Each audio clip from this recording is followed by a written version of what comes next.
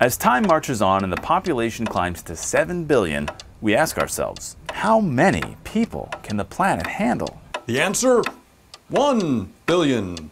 That was the prediction long ago, anyway. For years, estimates have ranged from less than a billion to hundreds of billions. Whatever the magic number, there has long been a sense that one day we'll hit catastrophic overpopulation. There's no debating the boom. It took thousands of years for the population to hit 1 billion in the early 1800s. We hit 2 billion a little over a century later. But in less than a century after that, we added 5 billion people. 7 billion and counting. And all these people are competing for limited resources. So life should be harder than ever, right? Of course, for too many, life is incredibly hard. Almost a billion people don't have enough food, and many more struggle to meet their basic needs.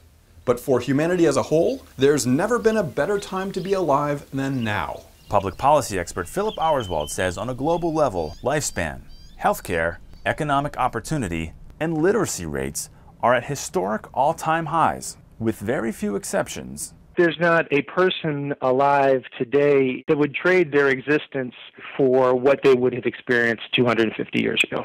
And Auerswald says as the population gets bigger, things could be better than ever because technology is allowing us to communicate better than ever.